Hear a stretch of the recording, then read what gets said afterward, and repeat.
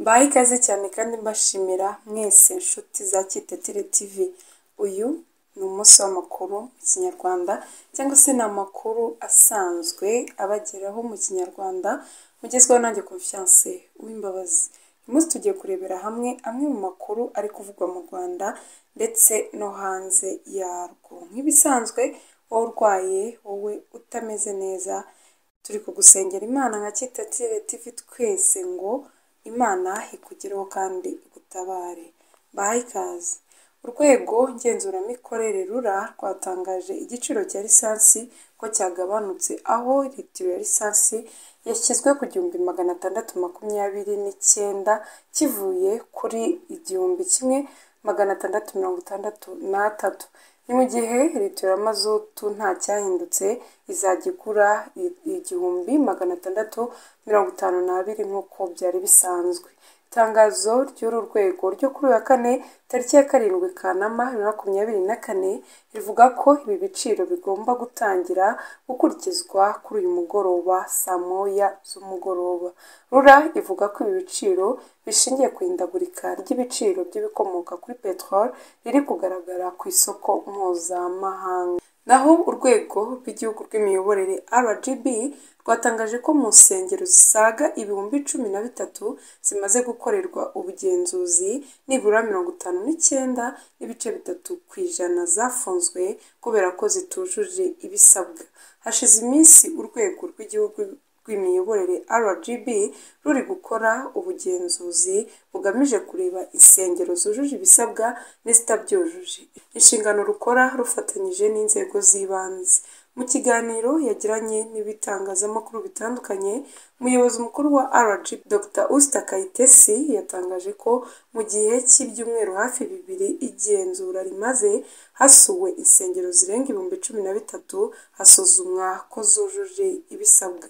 Dr. Kayitesi yagaragaje ko muri izo nsengero ibihumbi cumi na bitatu zasuwe hafunzwe mirongo itanu n'icyenda n'ibice bitatu ku ijana. Mu buryo bworoshye mirongo itanu n'icyenda n'ibice bitatu ku ijana by'ibihumbi cumi na bitatu bingana n'insengero ibihumbi birindwi magana arindwi n'icyenda. Dr Yusta Kayitesi yagaragaje ko muri izo nsengero zafunzwe hari izo byagaragaraga ko zibura ibintu bike by'ibanze bishobora guhita biboneka, ariko hakaba n'izisabwa ibintu bigari zakabaye zifite. Hari kandi izindi zafunzwe zasanzwe zikora ariko zidafite uburenganzira bwo gukora, aho wasangaga nk'umuntu ku giti cye cyangwa itsinda barafunguye ahantu ndetse bakanashyiraho ibyapa ariko badafite ibyangombwa bibemerera gukorera mu Rwanda. Dr Kayitesi yagaragaje ko nubwo umubare w'insengero mu Rwanda ari munini bitari bikwiye kuba ikibazo, ahubwo ko ikibazo gishingiye ku kuba n'izihari zituzuza ibisabwa. Yashimangiye ko ubugenzuzi bwakozwe atari ubugamije gufunga insengero, ahubwo ko bwari bugamije kumenya umutekano w'Abanyarwanda bazijyamo. Yagaragaje ko aho kugira ngo umuntu agire insengero eshatu mu kagari kamwe zitujuje ibisabwa, yakubaka urusengero rumwe rugari rubyujuje ruzajya ruhurizamo abayoboke bakakirirwa ahanoze kandi bayobowe n'abayobozi bafite ubushobozi bwujuje ibisabwa. Yagaragaje ko nubwo abantu bavuga ko gufunga insengero byakozwe mu buryo butunguranye atari byo kuko buri mwaka basanzwe bakora igenzura n'isuzuma ku nsengero kandi zari zarategujwe. Muri bibiri na cumi n'umunani igenzura nk'iri ryarabaye ndetse icyo gihe insengero zirenga ibihumbi birindwi zirafungwa kuko zitari zujuje ibisabwa, ariko icyo gihe hatanzwe imyaka itanu yo kuzuza ibitari byuzuye.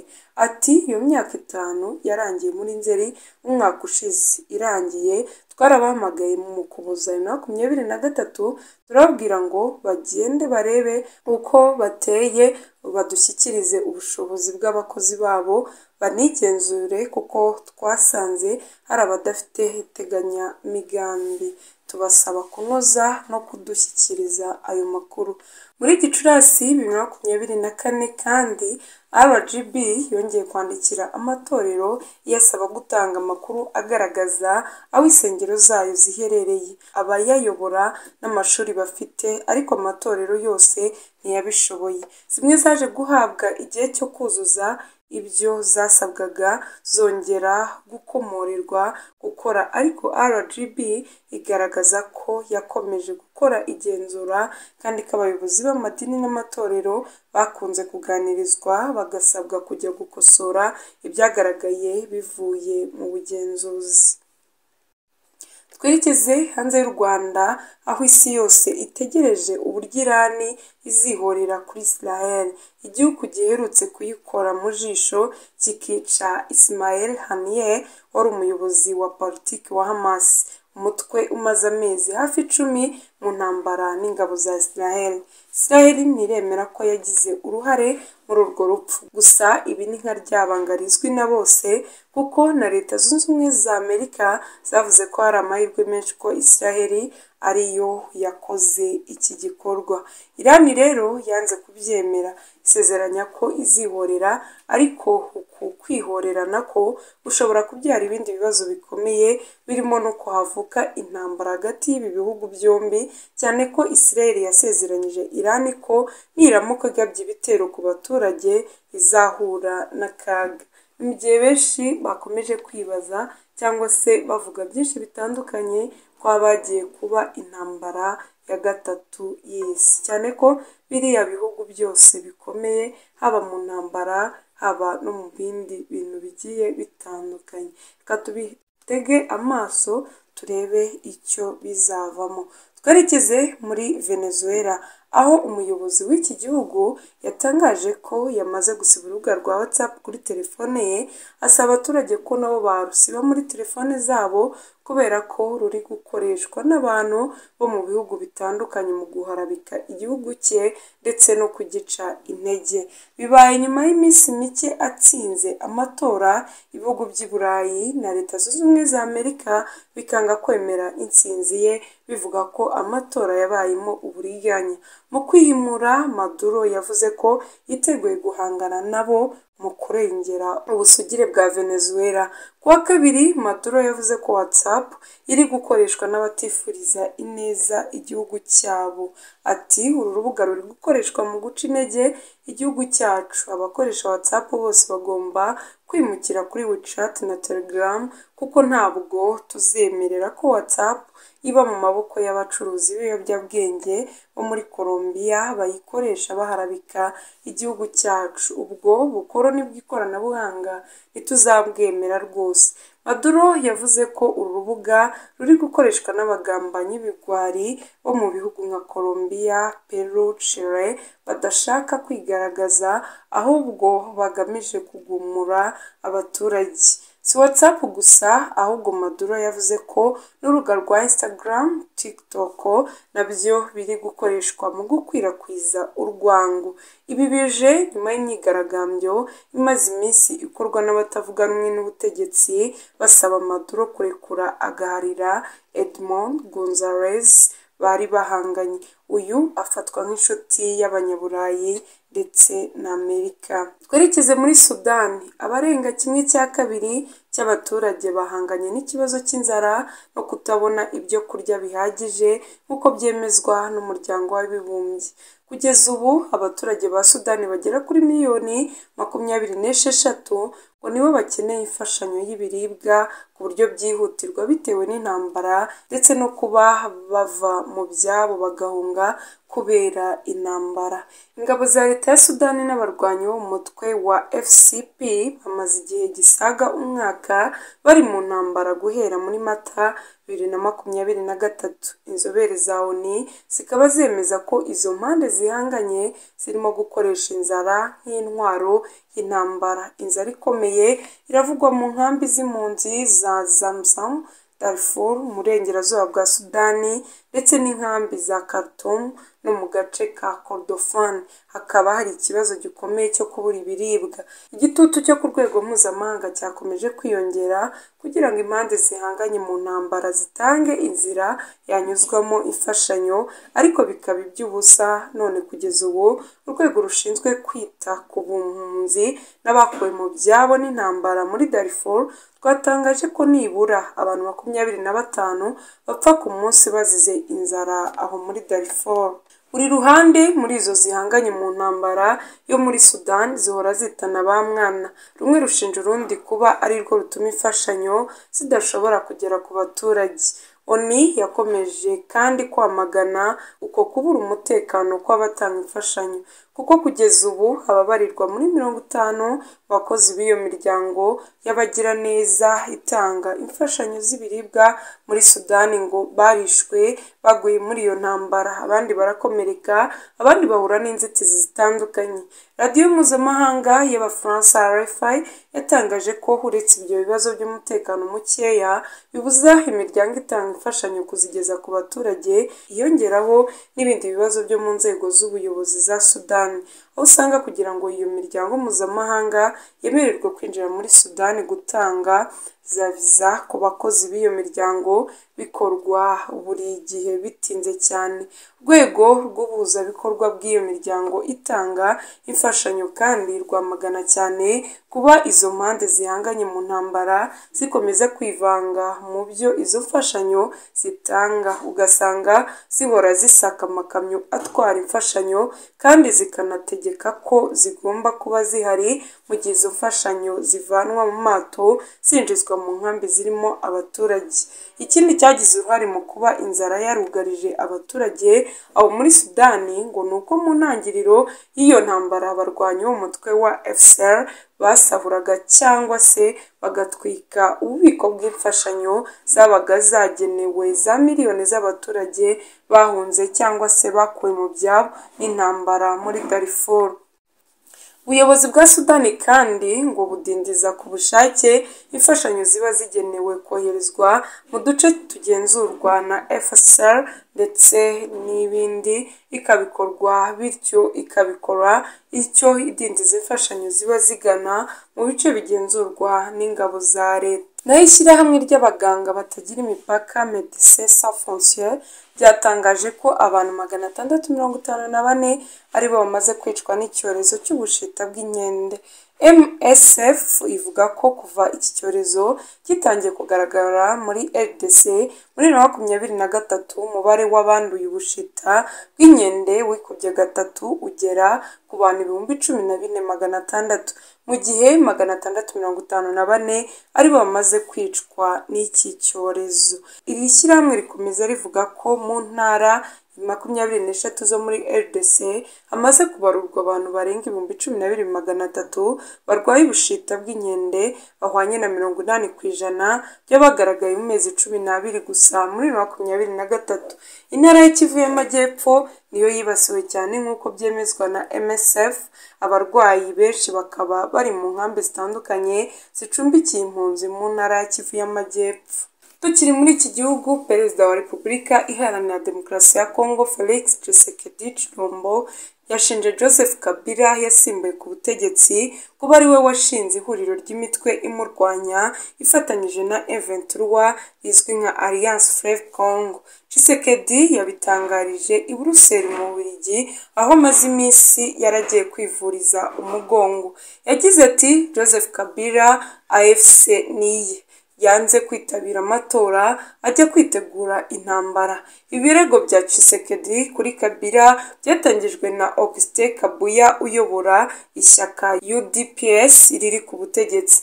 Cyakora biterwa utwatsi n'ishyaka PPRD rya Kabila.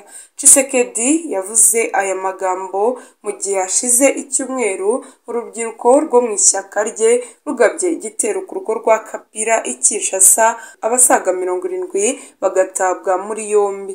Kuva yava ku butegetsi Joseph Kabila yirinze kuvuga byinshi ku butegetsi bwa Tshisekedi wamusimbuye nubwo bashwanye guhera bibiri na makumyabiri ubwo ihuriro FCC rya kabila na kashi rya Tshisekedi byahagarikaga ubufatanye byari bifitanye mu nzego z'imiyoborere.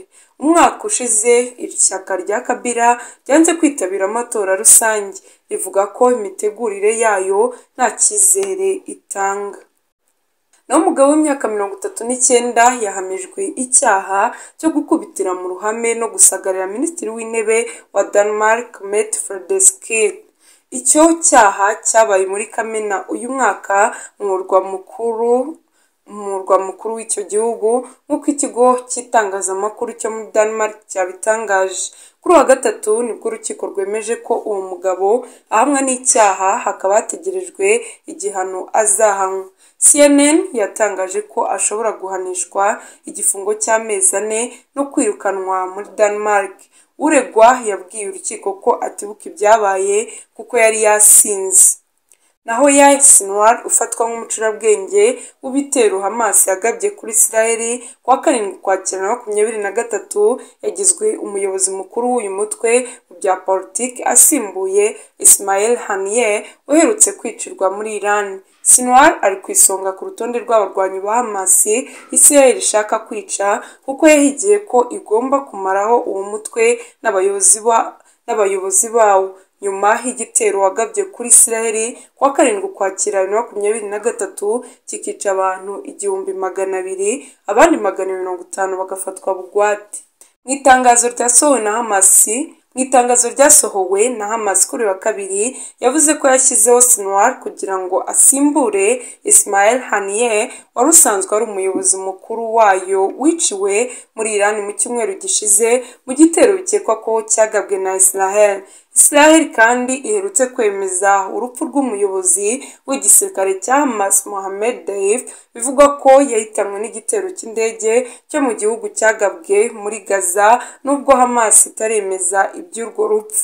Bitandukanye n'uko byari bimeze kuri Haniyeh wari umaze imyaka aba mu buhungiro muri Qatar. Sinwar umuyobozi mushya we yagumye muri Gaza ndetse ari nawe muyobozi w'uwo mutwe kuri ubwo butaka kuva muri na cumi na karindwi gusa ntiyakunze kugaragara mu ruhame. Nyuma y'igitero cyo ku ya karindwi Ukwakira Sinwar yagumye mu buhungiro mu gihe cyose Israel yagabye ibitero muri Gaza aho bivugwa ko bimaze guhitana abanyapalestine bagera ku bihumbi mirongo ine. Naho ingabo ziri mu butumwa bw'amahoro bw'umuryango w'abibumbye muri repubulika iharanira demokarasi ya kongo buzwi nka monisco bwemerewe guha ubufasha bwose iz'umuryango wa y'amajyepfo sadek mu guhangana n'umutwe witwaje intwaro wa M23. N'umwanzuro wafashwe kuri uyu wa kabiri n'inama y'umutekano y'umuryango w'abibumbye uburenganzira monisco bwo gutera inkunga y'ibikorwa n'ibikoresho ingabo ziri mu butumwa bwa sadek ni icyifuzo cyatanzwe n'ubufaransa n'ubushinwa cyemejwe n'abanyamuryango cumi na batanu b'inama bose. Gusa muri mutarama ibi byari byahishuwe n'intumwa y'umunyamabanga mukuru wa loni ushinzwe amahoro jean pierre lacroix ubwo yari mu ruzinduko muri rdc icyo gihe yagize ati w'ibihumbi bibiri magana arindwi na cumi na karindwi akanama k'umutekano gafite monisco mu nshingano kazasuzuma uburyo bwo gufasha sadek mu bikoresho n'ibikorwa. Niko kazafata icyemezo ku miterere y'ubu bufasha umwanzuro wa loni wo kuwa gatandatu kanama uvuga ko monisco igomba gufasha sadek. Yarushijwe imbaraga na afc na m23 dore ko ikomeje kuyambura imodoka z'intambara n'imbunda nini ku manywa y'ihangu. Loni yanzuye ko monisco na sadek bagomba gusangira amakuru guteza imbere imikoranire n'ubufasha bwa tekiniki. Hanzuwe kandi ko sadek izajya ikoresha ibikoresho by'ingabo za monisco byaba ngombwa igahabwa umusada imikoranire ya monisco n'ingabo za sadek nta kabuza irashimangira ko loni yahuje ibiganza n'imitwe irimo fdrr wazarendo n'indi isanzwe ikorana na fardes. Ingabo za sadek zoherejwe muri congo zigizwe n'abasirikare ba afurika y'epfo tanzania malawi bageze muri kiriya gihugu mu kuboza na makumyabiri na gatatu.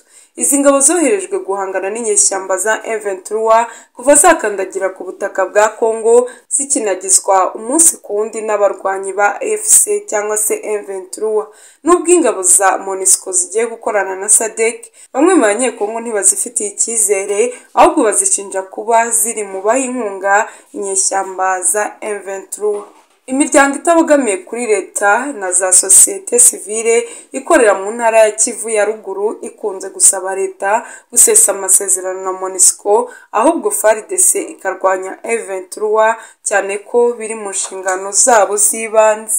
Kimwe n'izindi ngabo z'amahanga ziri muri congo iza monisco na zo zakomeje gushinjwa n'abaturage kuba ntacyo zibamariye mu kugarura ituze n'umutekano burasirazuba bw'igihugu. Umutwe wa M23 ntuhema kuvuga ko wifuza ibiganiro n'ubutegetsi bwa Tshisekedi kugira ngo intambara irangire mu mahoro. Wongeraho ko uzabagabaho ibitero wose uzamurwanya nta kujenjeka mu rwego rwo kurinda abaturage. Mwakoze cyane kubana natwe. Aya yari amakuru ya Kitatire TV nk'ibisanzwe. Njye nitwa Confiance Uwimbabazi.